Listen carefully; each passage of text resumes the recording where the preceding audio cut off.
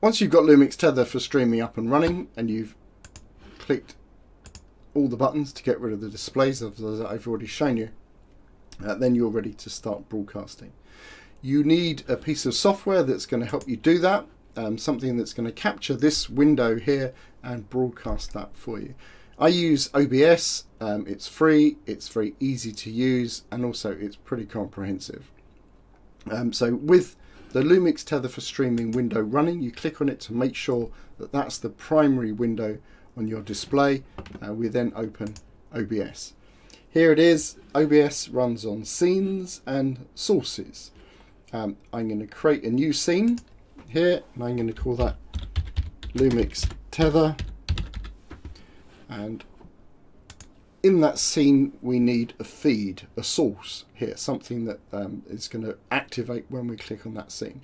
We're going to add a window capture because it's that window that Lumix Tether is producing that we're going to capture uh, to broadcast. Open it up here, window capture, yes, and there it is. That's the window being captured. Yes, that's the right one. And we click OK and there it is being broadcast onto that um, main window.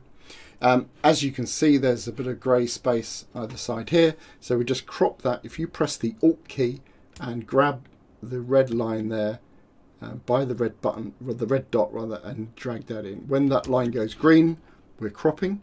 So I'm just going to grab there and pull that in. And then with a drag here we can just center that nicely there so now that window is ready for broadcast. Um, obviously OBS isn't a camera itself, um, so we need a piece of software that makes other applications think that OBS is a camera. Um, the application that you want is that it's an add-on to OBS and it's called Virtual Cam. Um, I've already loaded it here. Um, it's in the tools and there is Virtual Cam there. There's a link for you to download Virtual Cam um, in the article. So once you've installed OBS, you then install Virtual Cam. Um, click there and we click Start and you can see here it says target camera. If, actually, if I stop that, um, the target camera is OBS camera.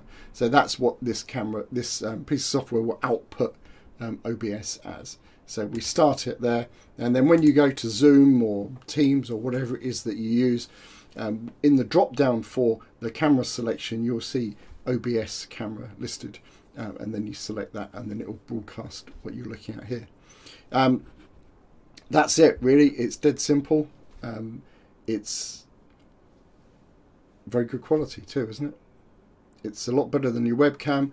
The great thing about it is that you've got all this photographic control. You can use proper lenses, proper camera, um, and you can control the, the colours um, and the exposure in the way that you can't really with a webcam. And it's free, so um, it means you can use your Lumix cameras more often too. So that's always a good thing.